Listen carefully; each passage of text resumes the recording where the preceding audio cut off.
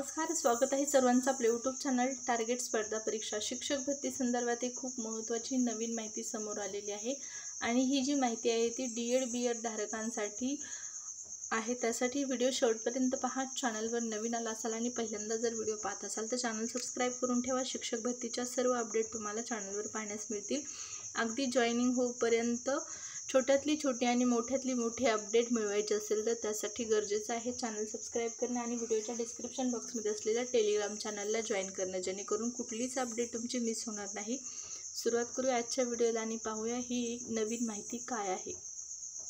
त्यापूर्वी एक खूप महत्त्वाची अशी सूचना आहे पहा पिंपरी चिंचवड महानगरपालिका भरती या भरतीचे हॉल तिकीट उपलब्ध झालेले आहेत आणि ही जी परीक्षा आहे या ठिकाणी पाहू शकता महानगरपालिका अंतर्गत होणारी भरती सव्वीस सत्तावीस आणि अठ्ठावीस मेला होणाऱ्या ऑनलाईन परीक्षेसाठी आपण एक खूप महत्त्वाची माहिती पाहत आहोत. तर ही जी परीक्षा आहे पिंपरी चिंचवड महानगरपालिका अंतर्गत होणारी भरती ही टी सी एस या कंपनीच्या माध्यमातून होणार आहे आणि तुम्हाला टी सी एस या कंपनीचा पॅटर्न समजून घ्यायचा असेल टी सी एसचा पेपर कसा असतो त्याचा अभ्यास करायचा असेल तर त्यासाठी तुम्हाला बी पब्लिकेशन यांचं हे पुस्तक खूप उपयुक्त ठरणार आहे. तुम्ही पिंपरी चिंचवड महानगरपालिका अंतर्गत होणाऱ्या भरतीसाठी अप्लाय केलेलं असेल तर तुमच्यासाठी सर्वोत्कृष्ट अशा प्रकारचं हे बुक आहे. घरबसल्या तुम्हाला हे बुक मिळणार आहे. केवळ फक्त पिंपरी चिंचवड महानगरपालिका भरतीसाठी उपयुक्त नसणारं हे बुक आहे कारण या दोन हजार तेवीसमध्ये होणाऱ्या सर्व स्पर्धा परीक्षा आय बी पी एस आणि टी सी एस या दोन कंपन्यांच्या माध्यमातून होणार आहे. त्यामुळे सर्व स्पर्धा परीक्षेसाठी उपयुक्त असणारे हे पुस्तक आहे तुम्हाला. तुम्ही इतर स्पर्धा परीक्षेची तयारी करत असाल तर हे पुस्तक आजच घेऊन टाका सरळ सेवा भरतीसाठी उपयुक्त असणारं खूप पुस्त उपयुक्त असणारे हे पुस्तक आहे. यामध्ये टी सी एस आणि आय बी पी एस या दोन कंपन्यांच्या पेपरचा समावेश आहे. प्रश्नपत्रिकांचा समावेश आहे. तुम्हाला या दोन कंपन्यांचा पेपर पॅटर्न समजून घ्यायचा असेल याचा अभ्यास करायचा असेल तर त्यासाठी हे पुस्तक खूप मदत करणार आहे. व्हिडिओच्या डिस्क्रिप्शन बॉक्समध्ये ऑनलाईन पुस्तकाच्या खरेदीची लिंक आहे. ॲमेझॉन तसंच फ्लिपकार्टवरती हे पुस्तक अवेलेबल आहे. तर हे पुस्तक नक्की परचेस करा. तुम्हाला खूप फायदा होईल. येणाऱ्या सर्व स्पर्धा परीक्षेसाठी या पुस्तकाचा आपली अब मेन महत्त्वाची अपडेट पाहूया. या ठिकाणी पहा शिक्षक भरतीसाठी किंवा शिक्षक भरती संदर्भात एक नवीन अपडेट पाहणार आहोत. न्यूजपेपरला आलेली पूर्णवेळ शिक्षकाला रात्र शाळेतही नोकरीची संधी उपलब्ध होणार आहे.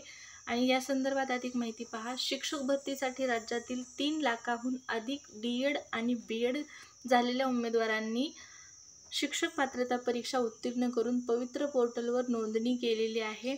त्यांना अजून नोकरी जी आहे ती मिळालेली नाही. आणि शिवाय केवळ रात्रशाळेमध्ये नोकरी करणाऱ्या शिक्षक व शिक्षक शिक्षक इतर कर्मचाऱ्यांना पूर्ण वेळ शिक्षकांप्रमाणे कुठलेही संरक्षण नव्हते.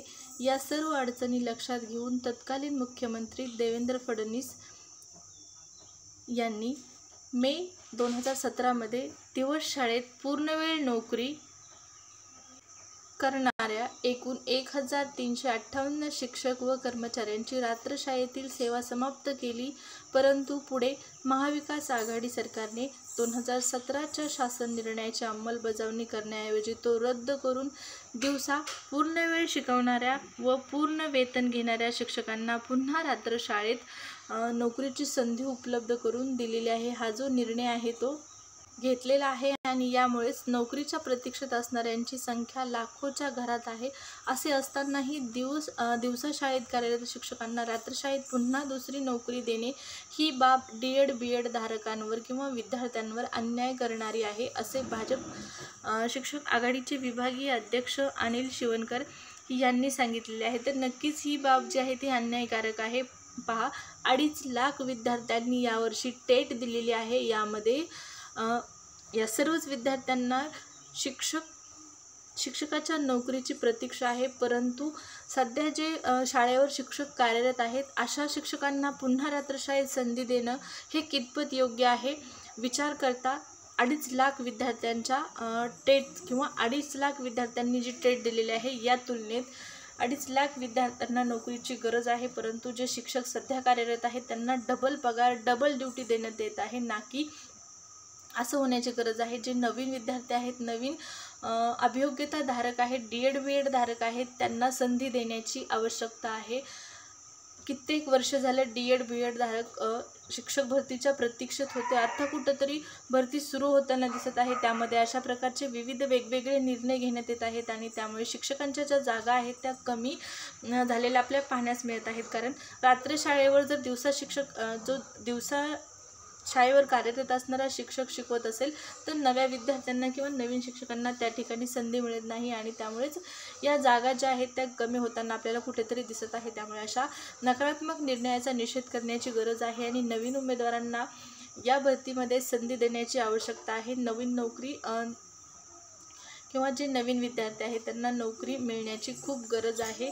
शिक्षक भरती करणाऱ्या विद्यार्थ्यांची अतिशय हालाकीची या ठिकाणी अवस्था झालेली आहे. आपण असं म्हणू शकतो डी एड बी एड धारकांना काडीचीही किंमत नसल्याची स्पष्ट शब्दामध्ये आपण म्हणू शकतो. कारण पहा लाखो विद्यार्थी डी एड बी एड धारक झालेले आहेत आणि त्यांना नोकरीच मिळालेली नाहीत. त्याला विचारलं तू काय केलेलं आहे? तर D Ed B Ed D Ed केलेलं आहे मी बी एड केलेलं आहे असं तो म्हणतो. परंतु प्रत्यक्षात त्याच्या या पदवीला काडीचीही किंमत आपल्याला नसताना दिसत आहे कारण त्याला नोकरी नाही. फक्त नोकरी नसल्या कारणाने त्याचं हे पूर्ण शिक्षण जे आहे ते वाया जाताना दिसत आहे. असं होऊ नये.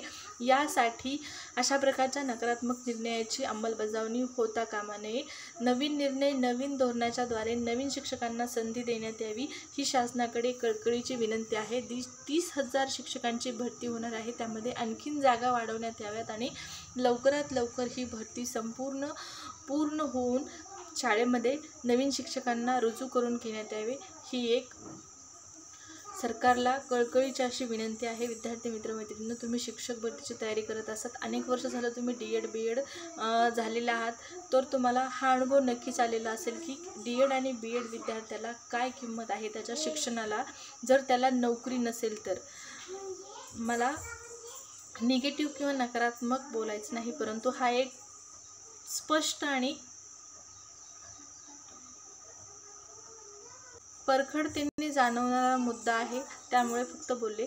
तर या व्हिडिओमध्ये इतकीच माहिती. परत भेटू पुढच्या व्हिडिओमध्ये. धन्यवाद.